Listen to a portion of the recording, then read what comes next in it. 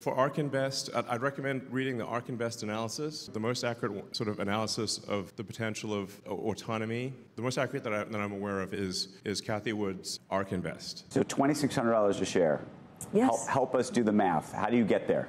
What has to happen And for all of you that? get there? And if I recall correctly, they predicted somewhere over a $5 trillion valuation for uh, Tesla just based on vehicle autonomy, not counting Optimus. I think just based on vehicle autonomy, we can, we can 10x, more than 10x the value of the company. I believe that's what will happen. In this video, we explore Elon Musk's insights on Tesla's potential, highlighting Cathie Wood's $5 trillion valuation prediction driven by vehicle autonomy, and the significant impact of the Optimus robot on Tesla's market cap and revenue. This is a five-year uh, price target, uh, as all of ours are. And uh, what has to happen is uh, an autonomous taxi platform, Tesla's autonomous taxi platform. It's actually a combination of like Airbnb and Uber to some degree. So like there'll be some cars that Tesla owns itself, it's kind of like an Uber fashion. But then for the fleet that is owned by our customers, it will be like an Airbnb thing. You can add or subtract your car to the fleet whenever you want.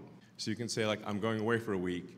At just one tap on your Tesla app, your car gets added to the fleet and it just makes money for you while you're gone. So you can say you, you can add it to the fleet for a few hours, for a few days, for a few weeks. Whenever you want it back, you can say come back and car will come right back. robotaxis, um, uh, which is a SaaS-like model. Instead of selling a car and maybe the software package, and that's it, uh, this becomes a recurring revenue model, a slice of every mile driven on that autonomous taxi network. Very high margins. Right now, uh, auto gross margins are around 16%. Uh, gross margins in the SaaS world are more like 80%. I'm highly confident that it will far exceed, like the revenue made by the owner of the car will far exceed the actual monthly payment. And then Tesla will obviously take a rev share on that, but most of the money will go to the, the owner of the car. And this is actually going to work. This is what will happen. Cathie Wood and Elon Musk shared their vision for Tesla's future, focusing on an autonomous taxi platform. Cathie Wood explains how this model could turn Tesla into a source of recurring revenue with high profit margins, similar to a software as a service business. Elon Musk expands on the idea, comparing it to a mix of Airbnb and Uber, where Tesla owners can easily add their cars to a fleet to earn money when they're not using them. Look at the number of miles between accidents for the average car in the United States. It's about 200,000 miles.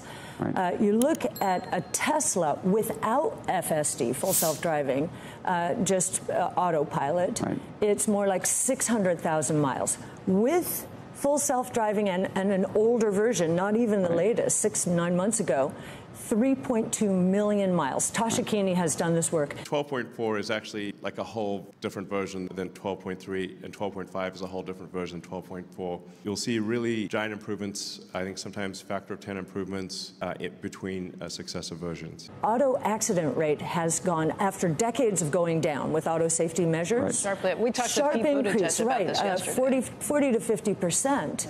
Texting is a big part of it. You know, disproportionately young people. So we, deaths in the U.S. have gone from the low 30s. Uh, I think they got into above 40,000. Uh, so I think the if uh, regulators understand, and they do, that 85% of all traffic accidents are caused by human error. If you take the human out, you're going to make the roads Cathie, we, safer. we literally asked Pete Buttigieg, the department, uh, the secretary, uh, the secretary of transportation Pete. yesterday, Pete Buttigieg, about this, and he did sound like he was open to the idea as a result. Yes. Um, and that's the first time I've really heard a public official who's kind of embraced it instead of saying, wait, wait, wait, wait, wait, we don't like the rise of the machine. Absolutely. He is telegraphing that the roads ultimately are going to be much safer if you take the human being out of the equation. Cathie Wood highlights that Tesla cars are significantly safer, with far fewer accidents compared to average cars, especially with full self driving technology.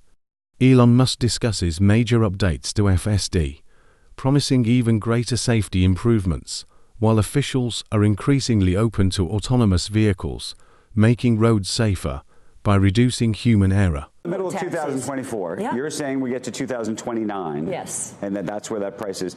I think what I'm asking is when does this all have to really go into effect? Yes, we uh, believe that they're setting up for, for robo-taxis, the network, within, uh, I would say, a year and a half, two years. It'll be pretty wild that the, the software update and then the whole, the whole fleet suddenly becomes accessible. It's like suddenly you've got uh, 7 million, 10 million cars that can do autonomous driving, um, and instead of being used 10 hours a week, can be used 50 or 60 hours a week. Cathie Wood predicts that Tesla's robotaxi network could be operational within two years, significantly boosting their market potential. Elon Musk envisions a software update that will instantly enable millions of Teslas to drive autonomously, vastly increasing their usage and efficiency. It actually gets way crazier when you think about the our, the Optimus robot, which is really a humanoid robot that is intended to you know be able to do anything you want it to do. To be you know your companion, it, it can be at your house. It can sort of babysit your kids. It could teach them, uh, be a teacher. It can do factory stuff. I, I think that the ultimate ratio of say how many super useful humanoid helper droids do you want? Like, who doesn't want a C3PO? You but a C3PO plus R2D2 plus, you know, plus plus. It would be pretty awesome. I think everyone in the world is going to want one.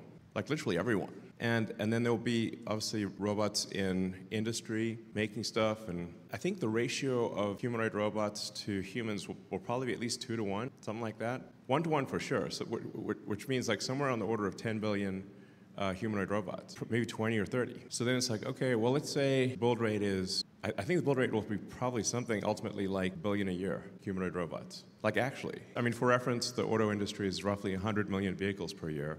And if Tesla just has a 10% share of that, and it might be a lot more than 10%, and there's, you know, we make like 100 million Optimus units a year, I think we could make one for a cost of maybe at really high scale of about $10,000. It'd be less expensive than a car. And, and I'm confident of the pr- prediction that there will be more, like the ratio of humanoid robots to humans will be greater than one to one. So that there'll be, you know, more than 10 billion humanoid robots in the world, probably 20 or more. And Tesla is going to be by far the leader in that. Elon Musk forecasts a future where Tesla's Optimus humanoid robots become everyday companions, capable of performing various tasks from babysitting to factory work. He predicts that eventually there will be more humanoid robots than humans, with Tesla leading the sector. You- You're seeing a lot of robot startups, but I think it's actually very challenging to, to do Optimus as a robot startup because what we found to make Optimus work, we've had to design from first principles, from scratch, every part of the robot. So the motor, the gearbox, the sensors, power electronics, the communication system, everything had to be done from scratch. We, we found that there's basically nothing, there's no supply chain.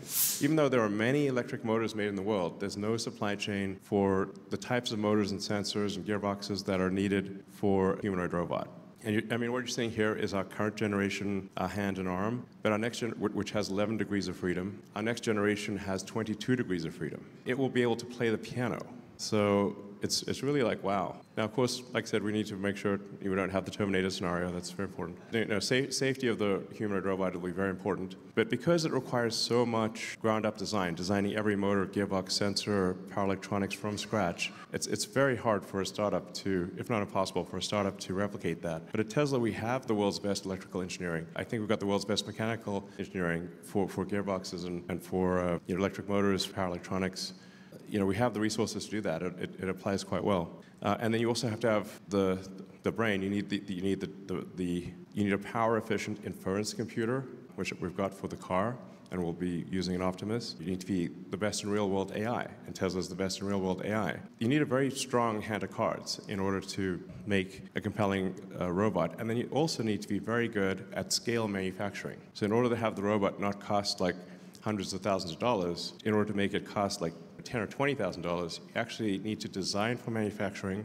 and be very good at manufacturing. What, in my experience, prototypes are, are easy compared to volume manufacturing. Prototypes are easy, production is hard, um, relatively speaking. So Tesla has the production capability, it has the engineering capability, and it has the AI hardware and software capability. Even the most optimistic estimates that I've seen for, for Optimus, the Optimus optimist, I think undercount the magnitude of, of what this robot will be able to do.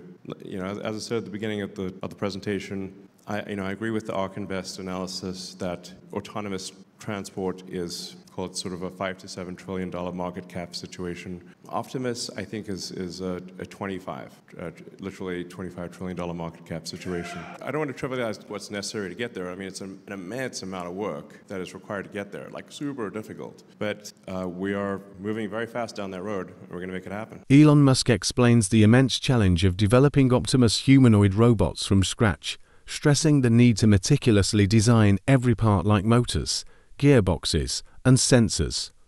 He highlights Tesla's unique advantage in engineering, AI, and manufacturing capabilities to achieve this ambitious vision, foreseeing Optimus as potentially unlocking a $25 trillion market opportunity. What are your thoughts on this? Let us know in the comments section. Also, be sure to hit the like button and subscribe to our channel for more updates.